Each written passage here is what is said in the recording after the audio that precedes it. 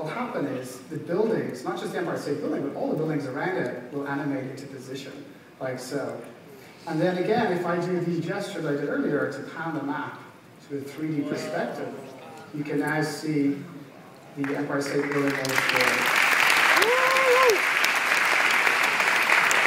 This is just the Maps app? This is, Maps app on this is Android. the, this is the new hotness in maps. So two more things I want to show you. So again, uh, if I use that twist gesture, again I can now do a 3D Eiffel panorama. It works in Paris, but we don't have the 3D buildings yet in Paris. so. Um, Oh, so it's a Cannes demo? Is No, it's only- no, no, we actually have 100 cities. Unfortunately, Paris is, is Not even the one Eiffel. Tower? Oh, know, I know, it's killing us too. it's, it's on its way. I have, I have one more feature I really want to show you. So, um, so you saw I was like panning around the Empire State Building here. So if you bring the phone back up, right? So I can orient it, find the nicest perspective. But you don't have to do it manually because this device has a magnetometer, a compass built in. So if I turn on compass mode, what will happen now is the device will animate uh, and turn, change the perspective depending on the way that I'm looking, like so. So this is a really cool feature. We come out of so bright and relaxed, like which way am I going?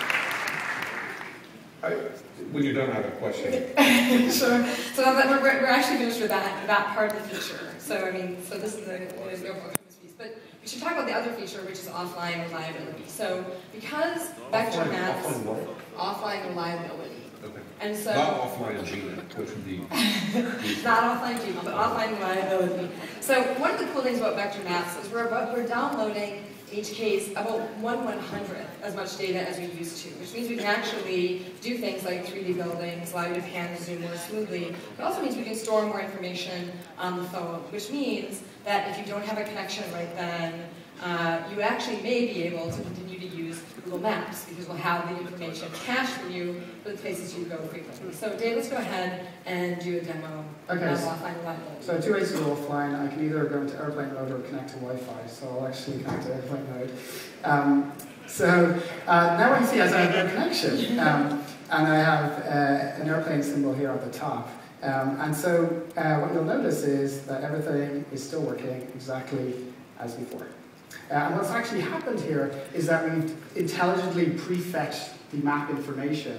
And by intelligent, I basically mean that we've looked at the positions that you frequent most. For most people, that's like work and home.